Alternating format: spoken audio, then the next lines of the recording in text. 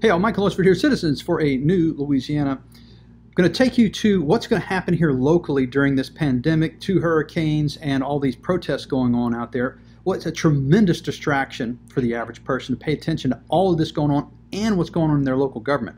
You may have missed last Tuesday, the council meeting actually called a special meeting to introduce a bunch of taxes. Yes, they did.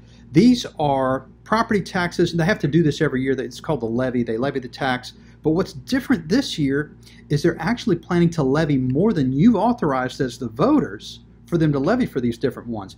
Take a look. Here's the ordinance itself, and I'll have a link to the ordinance in the description of the video. Here is the ordinance itself. It is Parish Ordinance PO 039-2020, and we went through this with the adding machine. In fact, where is my adding machine tape? And adding together all of these, you see there's quite a few of these. And if I take last year's, last year's was 0132-2019, you see down here are all of those millages.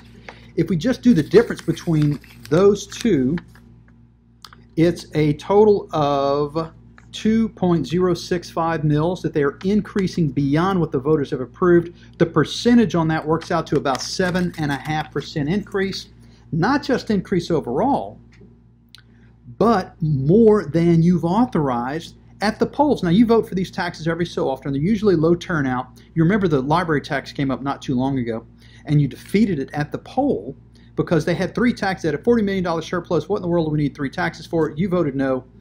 As a result of that, the taxes are supposed to go down. Well, here, they're, they're increasing them right back again. In fact, the two mills that they're going to increase is less than the amount of taxes you reduced because library tax is 1.68 mills. Now they're adding in two more. So we're really, this isn't the way it's supposed to work. They're not supposed to expand taxes beyond what the voters have approved. There is a loophole in the state constitution that allows them to do it, but it's not the right thing to do. So I would encourage you, pick up the phone, call the council office. It's 337-291-8810. Tell them that you don't think that they should be raising taxes beyond what you have already approved at the voting booth. Again, the number 337-291 8810. I'm going to have a detailed article about this coming out here in the next few days, but I wanted to come to you right away with this so that you could at least start making phone calls and let them know this is not what we elected you guys to do. Give them a call at the council office. Also, call your councilman if you have their direct number. You can also get that at lafayettela.gov.